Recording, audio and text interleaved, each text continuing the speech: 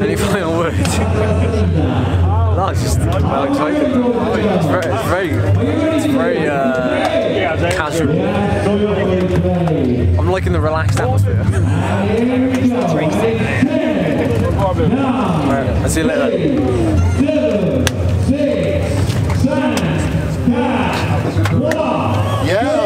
Afternoon.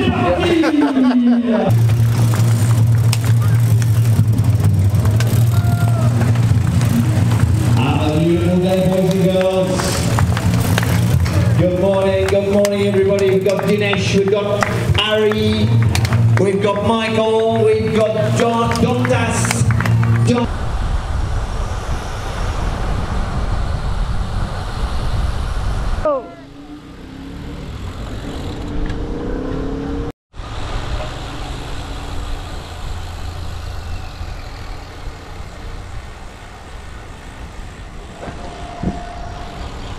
This is just incredible scenes. Absolutely incredible scenes. So, remember I was telling you yesterday how the Ride with GPS app means that we get updates on the event without this actually sort of being like anywhere, like a physical location, that you get kept up to date with the absolute latest. So, what they've decided to do because of the drastic changes in weather that are forecast today is to change the route from the original, which is 123 kilometers over the Croix de Fer down the other side, turn around and come back over the top, and then obviously finish at the top of the Alpia. Um, we're now going to be everyone's going to be doing the compact version, which if you didn't know, Haute Route run like original route and then a compact route. Uh, you know, I don't need to explain what the compact route is, but basically we're only going to the top of the Croix de Fer this morning and turning around, coming back down. Uh, descent is neutralised. I'll explain all of that out on the road, and uh, and then we just tackle the final climb up to the Alps. So basically, it's two climbs today. Uh, so two Strava segment efforts in effect, um, which makes me feel a bit gutted really because I've lost you know a little bit of form, a little bit of fitness, and if I was anywhere near competitive, I think I'd be um, I'd be relishing this today.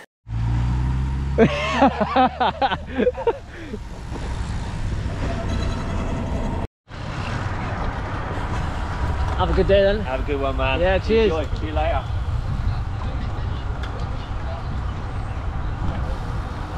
So the time section begins in earnest.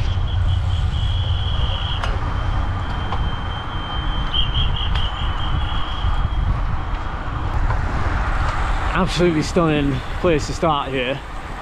We've got a couple of kilometres of flat before the Croix de Fer. I'll try and catch up with you in regular intervals, taking this view.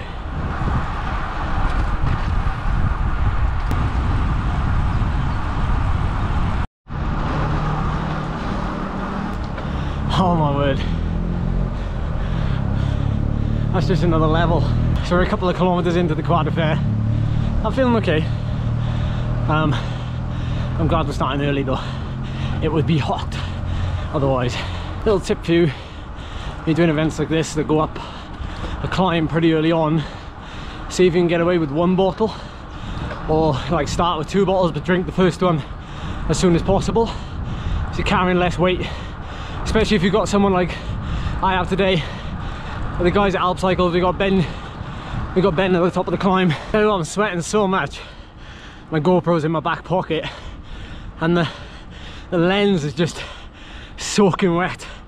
We're probably uh, 10k from the summit, and I think we're at about 1600 meters. It's 15 degrees but because like the air is so still it's really warm like basically probably didn't need it. Uh, in future I think I'll opt for extra layers on top rather than underneath. There's a better view this way round. I will be coming down this way. Ah, oh it'll be so nice. Not gonna lie I'm getting a bit of vertigo up here.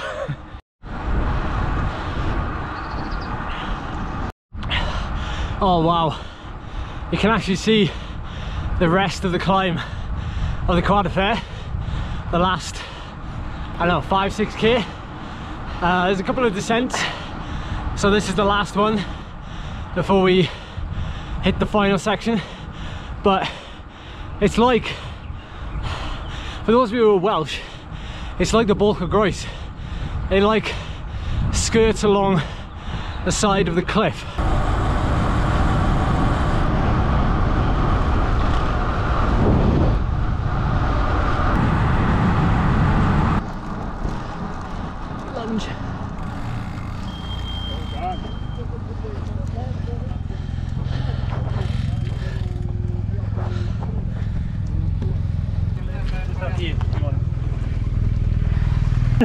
Yeah, otherwise it'll take twice as long. Yeah. What can I get you, man? Uh, Bottles here. You want 20 bottles? Yes, I think I better that actually. The advantage for you is it's still dry. that is obviously building really fast. Yeah. That was crystal clear 10 minutes ago. So, and let me see, the, the front guys are still there. So let me take this opportunity to explain to you what a Haute Route event is. It is basically a multi-day experience on your bike in what is some of the best climbs, scenery, descents as well, that wherever that area has to offer.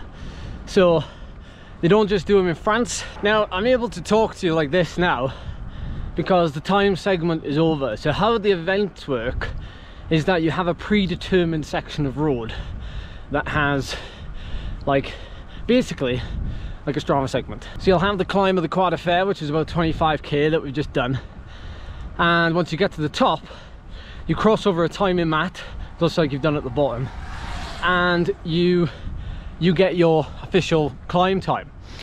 Now you can stop, you can chill out, you can have a coffee, whatever you want to do really at the top of the mountain at 2,000 meters. and then you can decide when you want to turn around and come down. Because the descent of the Fer, which is what I'm on now, is neutralized. So it doesn't come towards your time. The last climb back up to the Alp, that will be timed. So you strip off and you get back into sort of race mode or effort mode. Hey, hey buddy! Aid is Lanterne Rouge, so he rides around with a orange jersey on his back and he will basically encourage people, push people if need be, and sweep riders who are maybe sort of on their last legs. So he's got probably one of the most important jobs of the whole event out on the road. Now, as an ambassador, I somewhat have that job as well. So I'm trying to encourage people using my voice rather than my arms because, well, I'm not very strong on the upper body, you know. It's going very dark.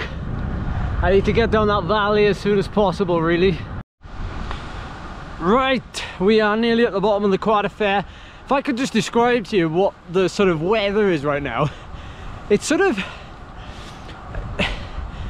it feels cool. It doesn't feel cold, it feels cool. Like, uh, the temperature doesn't really tell you the full story, like 15 degrees. I'll tell you one thing I can tell you about the Croix de Fer is that until you descend it, you really get a sense of the gradient and how uh, how steep it is in some places. Like this section here, which is near the bottom, is going on for like 10, 11, 12%. And it goes on for a while. Like you can see down there, like if I was riding up there to here, like that's a good like a minute, two minutes. And it just keeps going. So, you know, don't be afraid to put small gears on.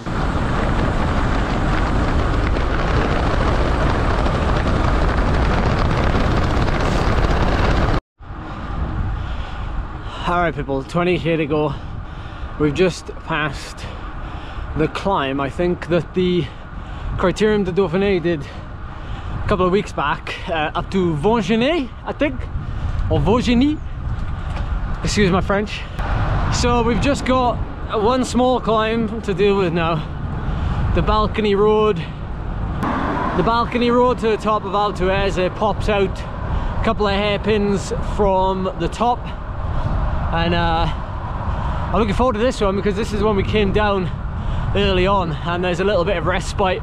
I tell you one thing that's making a big difference.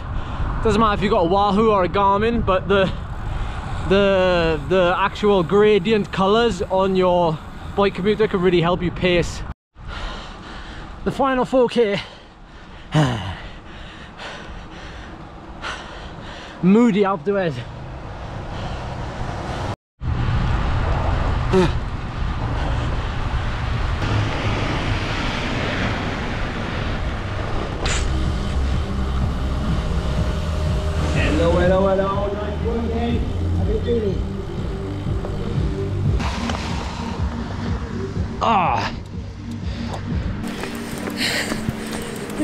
wrong way there. How are you feeling? You're not um, wearing your rain cape, so Well, there's no point because it, it only started raining in the last 5k yeah. on the balcony road. Yeah. Um, but it's like, it's amazing, like the scenery. Well, we got to see it twice, but lush. uh, it's uh, 92 kilometers. Average speed 24.5. Not a not a massive max speed, but I mean there was no need to take risks on the descent. Average power 194, normalized to 71, and heart rate 2,800 meters. Heart rate 146 and 178. But like I was, we haven't had massive temperatures today. You hear the I thunder. know, I know. It's, It's amazing, isn't it? Yeah. Our camera's fine. It's, it's not raining that much. Um, says the guy from Wales. Yeah, the effort. It was so like lots lots of people can relate to this, but the elevation probably emphasizes it as well. Um, but like my given my lack of like intensity and training the last couple of weeks, um, my power for my for my heart rate is like completely out of whack. So like I'm doing like today. I know it's my first effort. I did decide to give it like a good effort because because of the rain. I didn't want to sort of hang around and get cold. When you start riding on long climbs, especially when you get the elevation and the heat, you've got to pay more attention to your heart rate than your power. Um, well, at least that's what I do because your heart rate is actually it governs your output really at the end because you know if that sort of gets out of control, then you that's what affects your breathing at the end of the day. So that was good fun though.